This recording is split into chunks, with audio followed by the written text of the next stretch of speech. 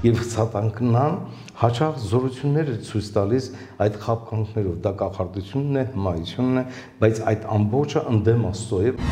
ով մերոնը օգտագործի այլ նպատակով բժշկության եւ այլն նզովված լինի թե տվողը եւ թե կատարողը մի ժամանակ կրոնավորը իրավունք ուներ գնալ դպրոց եւ օրհներ զավակներին, ցակոկներին, բայց այս վերջերս շատ խստացել է մեր վիճակը եւ նույնիսկ արգելվում է։ Այսինքն տգիտությունը որպես այդպեսին դա ամենամեծ զենքն է սատանայի։ Մարդիկ կան, որ գրամոլության մեջ տարապում են օր ու գիշեր, տանջում են իրենց եւ տանջում են նաեւ իր ընտանիքին։ Փորձեցի մխիթարական խոսքեր ուղղել հանկարծ մայրը գոռաց։ Ես խնդրեցի Աստծուն, որ իմ որդին ետ դառնա։ Ինչու իմ որդին։ Նրա Բայց ես հարգելի հայրենակիցներ, այսօր իրավունք TV-ի տաղավարում հյուրընկալ ենք առաջնորդանի Սուրբ Սարգիս եկեղեցու խորհրդակատար արժանապատիվ Տեր Շահե Քահանա Հայրապետյանին։ Օրհնեցեք Տեր։ Ասորությունները ոչ մի։ Տեր Շահե, մենք այսօր ապրում ենք Հայաստանի Հանրապետությունը, ապրում է թերևս ամենածանրագույն ժամանակաշրջանը եւ այսպիսի մի արտահայտություն կա, որը կարծես թե հենց մեր օրերի համար է գրված, որ երբ մարդը հեռանում է Աստծուց, բոլոր դժվարությունները միանգամից թափվում են, հա, արդյոք հայ ազգը այդքան հեռացել էր Աստծուց, որ մենք ապրում ենք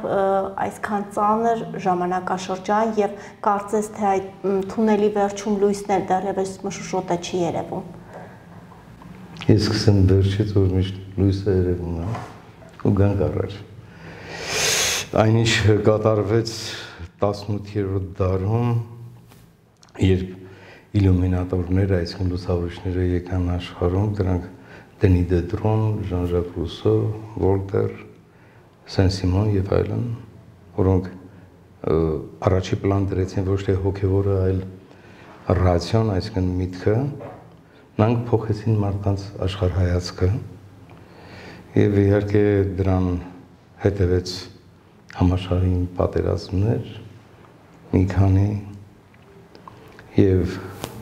19-րդ դարի վերջի 20-րդ դարի սկզբի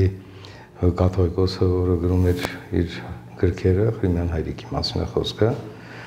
հաճախ ասում էր, որ քանան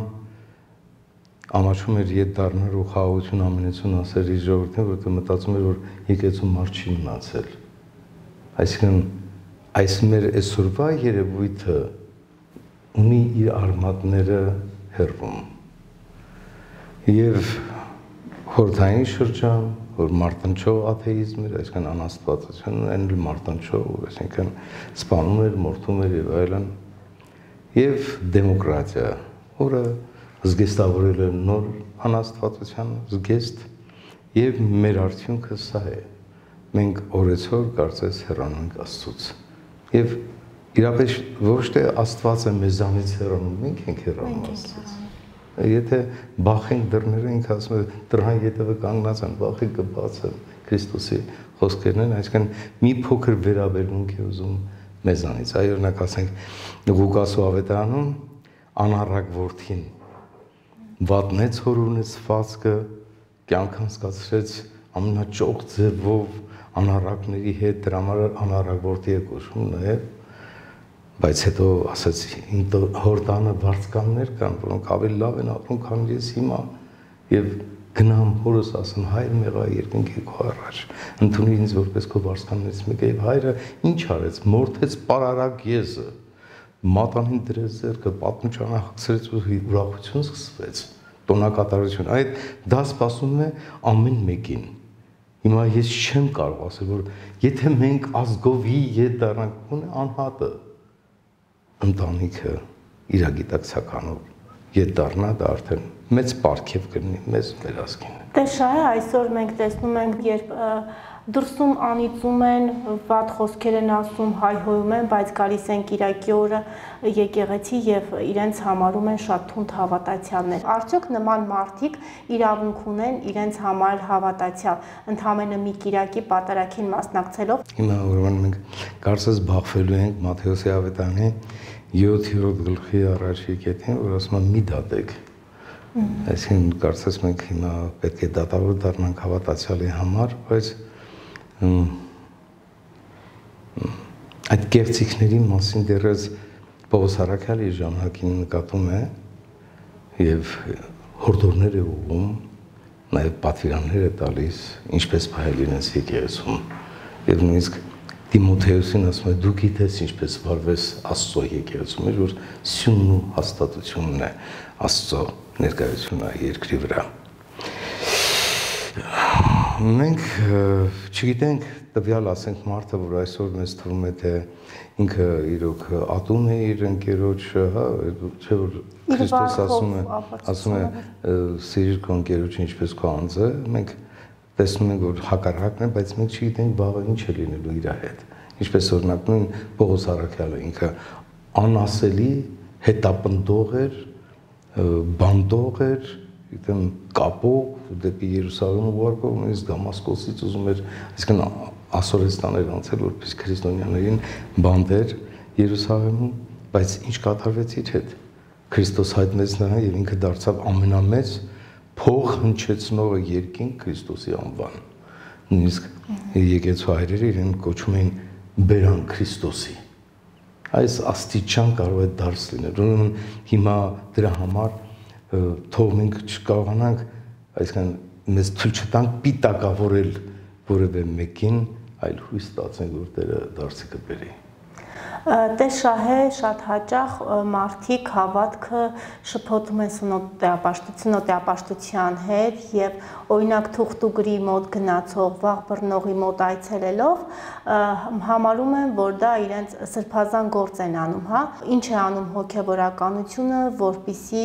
այս տարանջատումը մցնի եւ մարդիկ հասկանան, որ թուղթուգիրանողը, վաղ բռնողը, հա, ոչինչ որևէ առնչություն չունի Աստծո հետ հավատքի հետ։ Ուրեմն հեթանոսական սովորություններ, որ մնացել են քրիստոնեության մեջ։ Օրինակ այդ առումով ահավոր է լատինական Ամերիկան, որտեղ ոչ միայն ասենք այդ չգիտեմ թուղթու գիրնա եղունա այողնա, այլև հատնկեցություն, որը մենք մոռացել ենք ինչ բանը, օրինակ ծորենը փռում են հատակի վրա ու ուշադրություններ են անում կամ ասենք չգիտեմ թրջունի կանչից եւ այլն, այսինքն այնտեղ ավելի խորն է հասկանում ես բանը այդ սնոտիապաշտությունը եւ այդ սովորությունները իհարկե դարեր շարունակ հետապնդում են մեզ, որովհետեւ դա գենետիկայով էլ է կանես, որովհետեւ հազարամյակներ մարդիկ ապրել են դրախտից հետո երբ դուրս մնացին դրախտից մարդիկ, ինչ եղավ, այցելեց իրենց սատանան եւ սատանան տվեց խապկանքներ եւ սատանքնան հաճախ զորություններ է ցույց տալիս այդ խապկանքներով դա կախարդությունն է, հմայությունն է, բայց այդ ամբողջը ընդդեմ Աստծո է, որովհետեւ 5 կտականը եթե կարդանք երկրորդում են օրինաց կամ թվոց եւ այլն այնտեղ կտեսնենք, որ դա ահավոր բաներ է։ Եսայի Մարկան ուղակի զազում է, Երեմյան ուղակի հայ չգիտեմ ինչ անում է այդ երևույթներին, որ մի գնացեք Բահաղին պաշտամունք մի արեք, որտեվ այդ ամբողջը բահալի, բահաղի աշտամբուկն է եղել այդ ամբողջ երևույթները։ Նույնիսկ ասենք հայտնի բանը Մարգարեն կար, որը հրավիրեց ուրեմն հрьяաների դեմ մի արքա, որպեսի գա Մարգարեանը իր օգտին, բայց նրա էշը ավելի խելացի գտնվեց, ետ դարձավ տեսավ հրեշտակին, ասենք, սուրը ձերքին կանգնած է, որտեղ ինքը գնում էր ընտրյալ ժողովրդին ուրեմն բամբասելու եւ ինքը հետ դարձավ այդ բանը անեսքից։ Ուրեմն մենք պետք է հասկանանք, որ Աստծո հրեշտակի սուրը դրված է այն մարդկանց առաջ, ովքեր որ կգնան այդ քայլին եւ ովքեր որ կյենթարկվեն եւ շատ հաճախ է լինում, որ ասենք երեխային բերում կամ ասենք մեծ հասակ է, դա կապ չունի, հոգին հոգի է, հոգին տարիք չունի եւ ավիրված է այդ մարդը եւ խեղճ քահանան ամիսներով, տարիներով աշխատում է, մինչեւ որ խելքի է գալիս այդ մարդը, որտեղ ամբողջին այդ գուշակների մոտ տանելով, թոթուգրերի մոտ չգիտեմ ինչեր ուտեցնելով, խմեցնելով եւ այն ավիրել են այդ մարդուն։ Իդեպ շահե, տեսեք, երբ մենք հասարակ քաղաքացիներս, հա, փորձում ենք յետ պահել այդ մարդկանց, որ օրինակ թուղթու գիրանելով, մոմթափողի մոտ գնալով, վախբռնողի մոտ նշում են օրինակ տեսեք թուղթու գիրը անում են հենց եկեղեցու դռան մոտել են թուղթու գիրանում մոմ թափելը նույն բանն է ինչ որ եկեղեցում ենք մենք մոմ թափում հա կուզենայից այս առումով մոմ թափել են այսինքն հատ մի օրինակ կարող եք բերել, ասենք ասում են եկեղեցու մոմ ենք վառում, այդ նույն մոմն էլ թափում են, որպեսզի ինչ որ բախտ բախտ նայեն, հա, գուշակությամբ զբաղվեն։ Այդ նույն կերպ մոլորվում են, մոլորությունը հենց այդտեղից է սկսվում։ Ես քեզ ասեմ, որ ները, ները, որ անցիխրիստն է, հայրենում թարգմանվում է դերա Քրիստոս այսինքն Քրիստոսի դեր կատարողը ոչ թե ինքը Քրիստոսն է, այլ դերա կատարում այդ նույն հմայողները, կախարդները, որ իրենց գնում են այցելում են, անպայման իրենց ձեռքի տակ ունեն իբրև թե սուրբ գրքեր, իկոնաներ են կապված իրենց տիկունքում, իրենք վկայում են, որ ինքեր եկեղեցու, այո, հաճախ գալիս են եկեղեցուց ու կրոնավորից, ասենք, մերոնաջուր են ուզում, կամ մերոն են ուզում։ Ասում լավ, ինչի՞ դա պետք։ Մենք մերոնին վախով ենք մոտենում միայն այն մկրտության կանան մկրտության առումով իհարկե եպիսկոպոսը կաթոլիկոսը եւ խաչքարեր ոցելով եւ եկեղեցի ոցելով եւ սուրբ ավազանը որպեսզի այն դառնա կենթանի շունչ եւ մարդիկ ծնվեն դեպի Քրիստոս բայց ձեզ ինչ դա պետք ասում ես եւ բարձրապես հայտնի մի փաստ որ այդ գուշակողը կախարդը քան որ ինքը զորություն չունի եկեղեցու զորությունը ներոն օգտագործելու է ուրեմն իր չար գործի համար։ Այ այս աստիճան մոլորված է նաև հասարակության մի մասը եւ կանոնագիր հայոցում կոնկրետ նզովքներ կան դրա համար ով մերոնը օգտագործի այլ նպատակով բժշկության եւ այլն նզովված լինի թե տվողը եւ թե կատարողը Ահա Դե տեսեք, այ հասարակությունը այս մոլորության մեջ, որ հասարակության միստվար զանգված մոլորվել է, հա, եւ դիմում է գուշակներին, չգիտեմ, նմանատիպ այլ անձանց, որpիսի ինչ որ կերպով իրենք համարեն, որ իրենք հավատացյալ են եւ հասարակությունը մեղադրում է հոգեվորականությանը շատ հաճախ, որ օրինակ ինչու հոգեվորականները, ինչպես որ աղանդավորները չեն գնում դռնեդուր եւ դարձի բերում իրենց հավատացյալներին։ Այս առումով կուզենայի որպես հոգևորական ձեր գնահատականը։ Ինչ է անում հոգևորականությունը, որpիսի այդ մոլորված շերտին բերի եւ նորից Աստծո դուռը հասցնի։ Այսօր վիճակը այնպեսին է, որ օրինակ ասենք մի ժամանակ կրոնավորը իրավունք ուներ գնալ դպրոց եւ օրհներ զավակներին, ցակոկներին, բայց այս վերջերս շատ խստացել է մեր վիճակը եւ նույնիսկ արգելվում է այդ օրհնությունները ես չեմ ուզում որևէ քաղաքական պիտակ տալ, բայց գնալով ժամանակները խստանում են մեր հանդեպ, որովհետեւ գլոբալիզացիան ինքը պայքարում է մի երևույթի դեմ, որը ազգային է, որը անհատինն է, որը սրբությունն է, որը Քրիստոս է։ Ահա այս երևույթների դեմ լուրջ պայքարող է եւ այդ մեխանիզմի յետևում կանգնած են գիգանտներ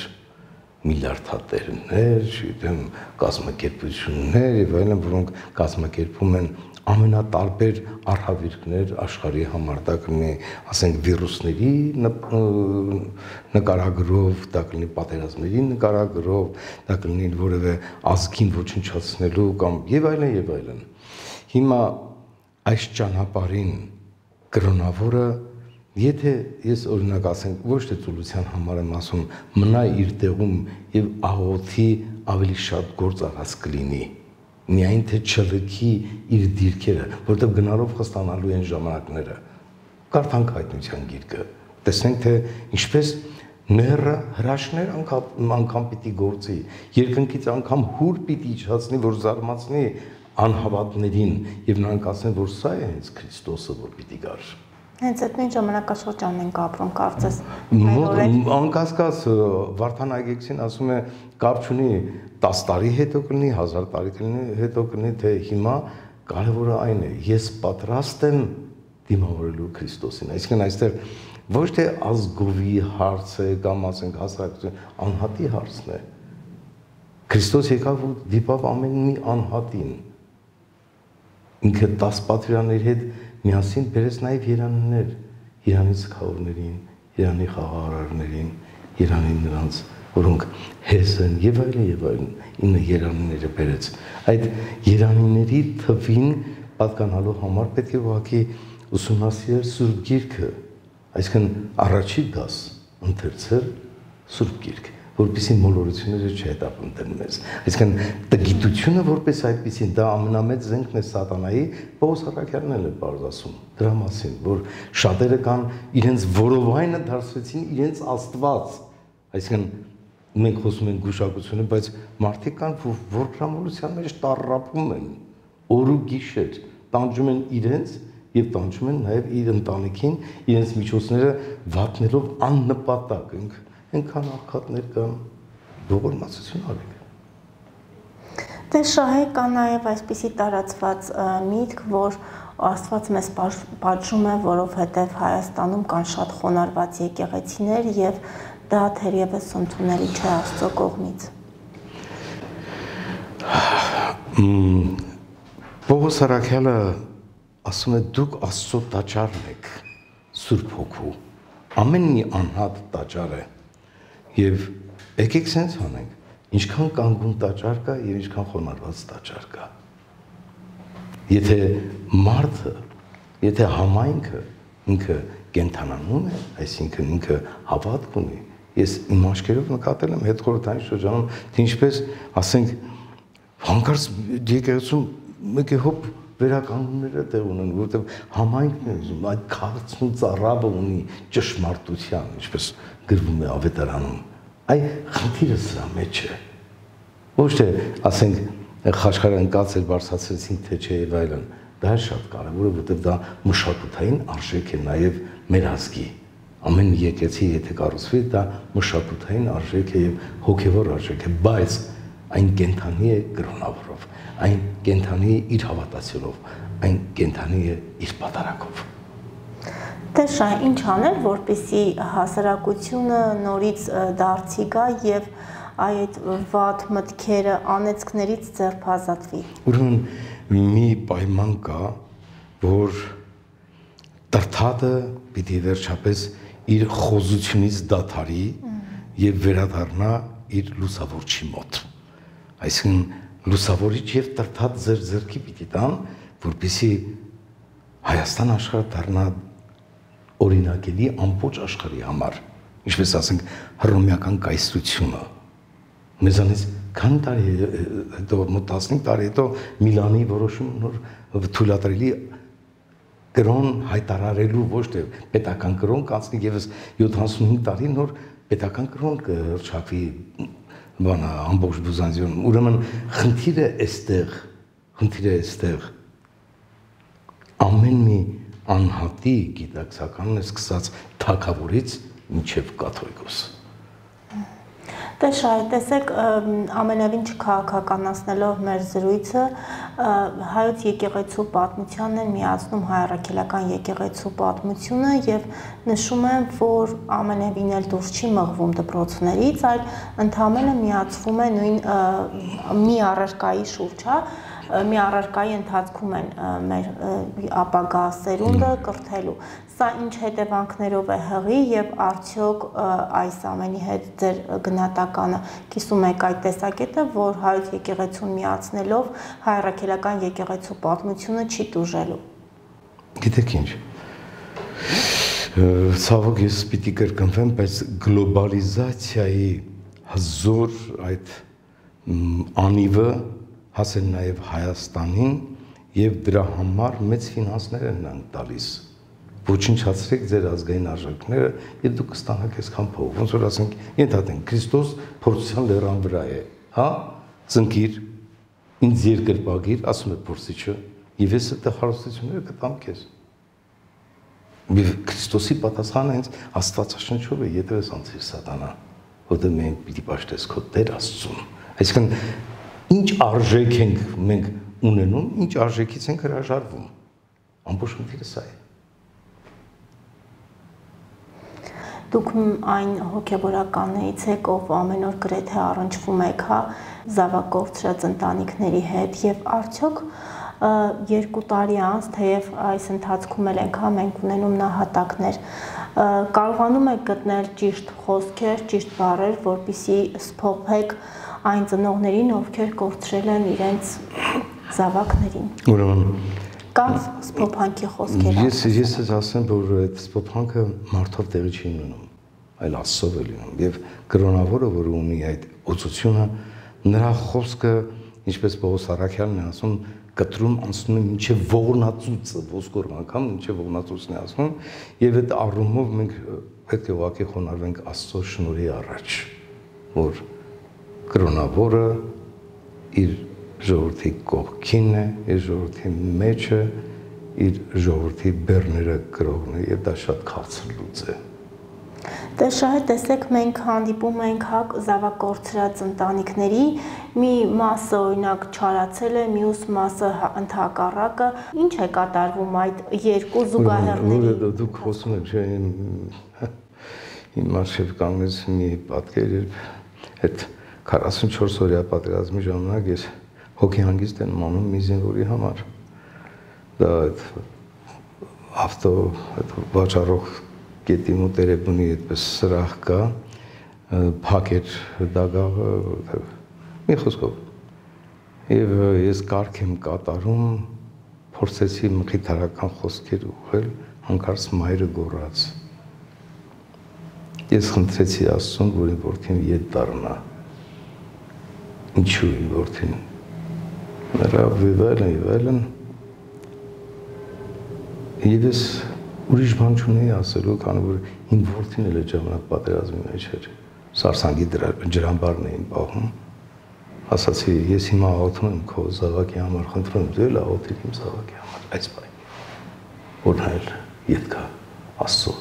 Ուրիշ բան չունեմ ասելու։ Այս ամբողջը շատ բնական ընթացք է։ Նայած ով ինչ է ընտրում։ Շատերն են կանչվեղած, քչերն են ընտրված։ Սա իմ խոսքը չէ, դա Աստծո խոսքն է։ Եվ հիմա, ասենք, տոտալ ինչ որ քաղաքականություն տանել անհնար է։ Անհնար է, որովհետև Քրիստոս ինքը սերմացանություն էր անում։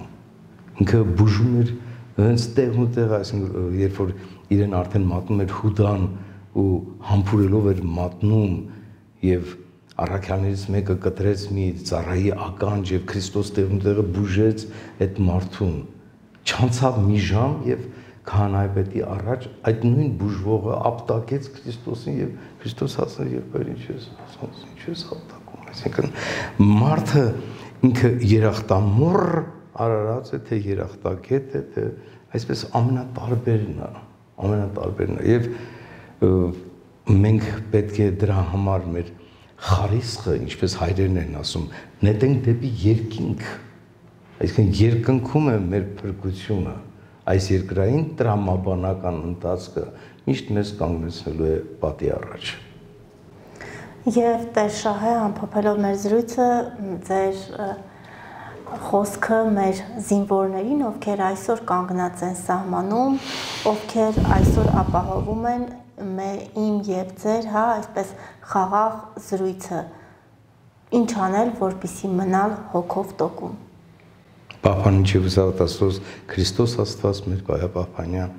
հայոց բանակն հայ եկեղեցին հայ ժողովրդն ընդհանրապես Սուրբի պատվական խաչի վտկոյի խաղության փրկյա երևի լիվաներու ճշնամվույն արժանորյա գոհությամբ փառավորել ըստ քեզ ընթորին դուքոցը փայժն եւ միշտ եւ հավիտյանս հավիտենից ամեն սեր խաղություն թողնի մեր հայոց աշխարհում Շնորհակալ եմ ձեր ժամանակից մեզ տրամադրելու եւ այս չափ հոգեվոր զրույցի համար